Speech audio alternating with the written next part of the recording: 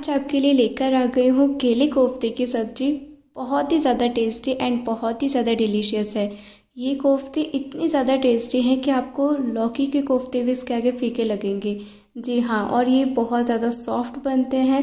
इसकी ग्रेवी भी बनाना बहुत ज़्यादा आसान है और ये सब्ज़ी भी बहुत जल्दी बन जाती है। वीडियो को लास्ट तक देखना और अगर आपको ये वीडियो अच्छे लगे तो प्लीज़ चैनल को सब्सक्राइब करना, वीडियो को भी लाइक करना और ये टेस्टी सी सब्ज़ी झटपट ज़रूर बनाकर तैयार करना। तो चलिए बनाना शुरू करते हैं बिना किसी देरी के कच्चे केले के कोफ्ते। सबसे पहले ना हम ग्रेवी बनाएँगे और उसके लिए एक कढ़ाई में दो बड़े चम्मच तेल लेंगे।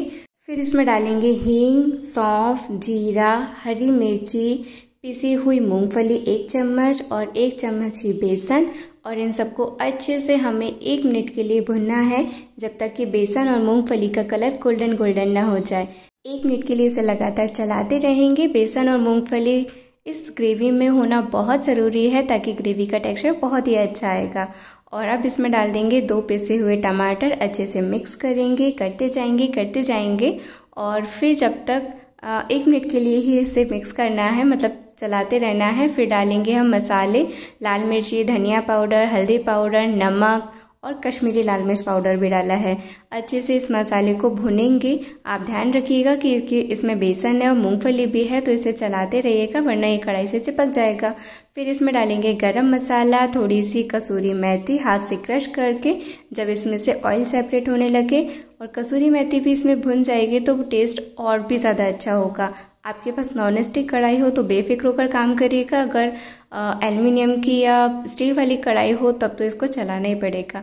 अब इसमें डाल देंगे हम गर्म वाला पानी मतलब गर्म पानी। ये इसलिए ताकि इसमें से ना ऑयल सेपरेट अच्छे से होगा और हमारी जो ग्रेवी है, बहुत ही ज़्यादा अच्छी बनेगी। आप चाहें तो ठंडा पानी भी डाल सकते हैं। तो पानी की कंसिस्टेंसी आई मीन ग्रेवी की कंसिस्टेंसी आपको कितनी कैसी रखनी है, गाढ़ी या पतली, वो आपके ऊपर है। तो मैंने यहाँ पर ढाई गिलास पानी डाला है और इसे आप एकदम स्लो गैस पर उबलने के लिए रखें। अब हम कोफ्ते बनाने की तैयारी करते हैं। तो इसके लिए मैंने तीन केले लिए हैं। कुकर में इन्हें पहले उबाल लिया था और इनके छोटे छोटे से पीस करेंगे। ध्यान रहे कि ये केले सिर्फ़ उबले हुए होना चाहिए, एकदम बहुत ज़्यादा उबले नहीं होना चाहिए। मतलब ये ड्राई रहना चाहिए। हो जाते ना गीले गीले से वैसे नहीं होना चाहिए, तभी आपके कोफ्ते अच्छे बनेंगे। तो मैंने तीनों केले को अच्छे से छोटे छोटे पीसेस में कट कर लिया है। अब डालेंगे इसमें बहुत सारा हरा धनिया, हरी मिर्ची, हल्दी पाउडर लाल मिर्ची पाउडर धनिया पाउडर थोड़ी सी हींग और थोड़ी सी सौंफ थोड़ा सा गरम मसाला और नमक डालेंगे टेस्ट के अकॉर्डिंग और डाला है एक चम्मच बेसन और एक चम्मच घी। घी इसलिए ताकि ये कोफ्ते बहुत ज़्यादा सॉफ्ट बनेंगे और अच्छे से अंदर तक सिक जाएँगे। तो अच्छे से इन्हें मिक्स करना है और पूरा अच्छे से मसल लेना है। और हाँ ध्यान रखना कि जो ग्रेवी आपने पकने के लिए छोड़ी है ना, वो पाँच से सात मिनट तक ही पके और अगर ज़्यादा टाइम लगता है आपको कोफ्ते बनाने में तो गैस बंद भी कर सकते हैं। तो देखिए मिक्सर एकदम ड्राई सा है, गीला नहीं है बिल्कुल भी, कोफ्ते बनाने के लिए एकदम परफेक्ट है। अगर आपको लगता है कि आपका केले का मिक्सचर गीला हो गया है तो आप इसमें बेसन डाल देना और कोफ्ते बनाने के लिए मिक्सचर तैयार कर लेना। तो यहाँ देखिए मैंने छोटी छोटी सी बॉल्स बनाना शुरू कर दिया है और ये बॉल्स बहुत ही ज़्यादा आसानी से बन जाएगी। एकदम गोल गोल बहुत ही ज़्यादा प्यारी लग रही है ये और बहुत ज़्यादा सॉफ्ट हमारे कोफ्ते बनकर तैयार हुए थे। मतलब मैंने जब ये सब्ज़ी बनाई और खाई ना, मेरे को बहुत ज़्यादा अच्छी लगी और घर में सबको बहुत ज़्यादा पसंद आई थी। तो इसीलिए मैं आपके लिए भी ये रेसिपी लेकर आई हूँ, बहुत ही ज़्यादा टेस्टी है। तो देखिए, इसी तरह से मैंने ना सारे ही कोफ्ते बनाकर तैयार कर लिए हैं। मुझे लग रहा था कि आपको कोफ्ते दिखेंगे या नहीं दिखेंगे, इसलिए मैंने प्लेट ऊपर रख ली। तो यहाँ देखिए, अच्छे से मैं इसको गोल गोल कर रही हूँ और ये सारे कोफ्ते बनाकर तैयार कर लिए हैं और बहुत ही ज़्यादा अच्छे से ये कोफ्ते बनकर तैयार हुए हैं। कितने अच्छे लग रहे हैं ना ये हँसते खेलते हुए।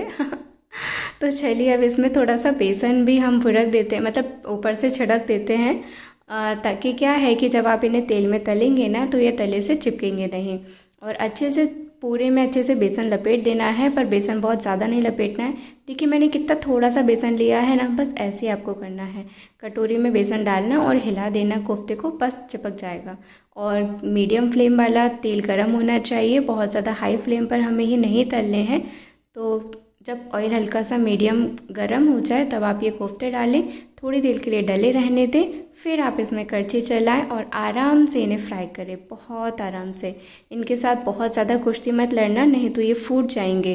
तो देखिए, हमारे कोफ्ते अच्छे से गोल्डन कलर आ गया है। कितने ज़्यादा अच्छे लग रहे हैं ना?